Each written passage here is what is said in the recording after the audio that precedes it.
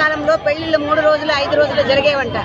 అదేవిధంగా గౌరవ ముఖ్యమంత్రి నారా చంద్రబాబు నాయుడు గారు మహిళా సాధికారతకి పెద్దపీట వేసి పేదరికం నిర్మూలనే ధ్యేయంగా పట్టణ పేదరిక నిర్మూలన సంస్థ ద్వారా మెప్మా ద్వారా ఇంతమంది మహిళా సాధికారత కోసం ప్రతి ఒక్కరికి కూడా పసుపు కుంకం కింద పదివేలు ఇవ్వటం ఆ పండుగ ఈ రోజు మూడో రోజు తారస్థాయి మన ఇందిరా మైదానంలో తారస్థాయిలో బ్రహ్మాండంగా జరగడమైనది.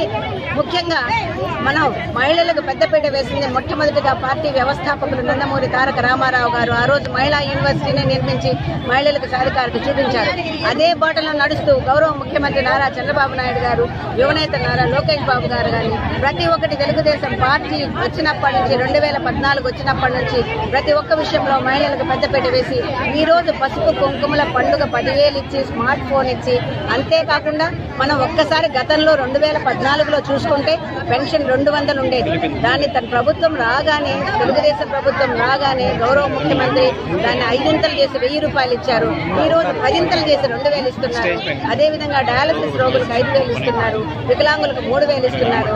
ఇవన్నీ ఒక్కటి కాదు ప్రజా సంక్షేమ కార్యక్రమాలు నూట ఇరవై ఎనిమిది పథకాలతో రాష్ట్రాన్ని ముందుకు నడిపిస్తూ మహిళా సాధికారతే మనం పేదరిక నిర్మూలనే ధ్యేయంగా ఆంధ్రప్రదేశ్ రాష్ట్రాన్ని మన భారతదేశంలోని పటంలో మొట్టమొదటి స్థానంలో పదహారు వేల కోట్ల లోటు బడ్జెట్తో ఉండి కూడా ఇన్ని ప్రయోజనాలు చేసి భారతదేశంలోనే మన రాష్ట్రాన్ని ముందుకు నడిపిస్తూ మొట్టమొదటి స్థానంలో చేయడం అనేది మన ముఖ్యమంత్రి గారు మనకందరికీ చేసిన మహా ప్రయోజనం.